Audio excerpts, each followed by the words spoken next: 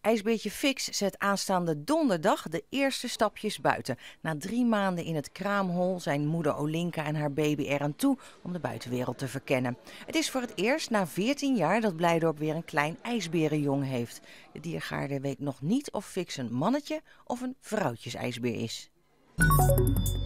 De Rotterdamse korpschef Frank Pauw van de politie Rotterdam-Rijnmond verdient de Big Brother Award voor zijn plan om het DNA van alle Nederlanders op te slaan. Dat zei minister Opstelten van Veiligheid en Justitie vandaag tijdens het vragenuurtje in de Tweede Kamer.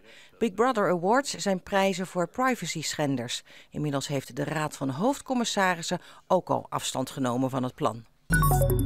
Dordrecht is niet aansprakelijk voor de schade aan woningen door paalrot. Door het lekken van riolen daalde de grondwaterstand op sommige plekken in de stad dusdanig dat houten heipalen droog kwamen te staan en gingen rotten. Volgens het gerechtshof in Den Haag heeft de gemeente Dordrecht gehandeld binnen zijn financiële mogelijkheden en wist de gemeente lange tijd niet dat achterstallig onderhoud aan de riolen de fundering van huizen aantastte.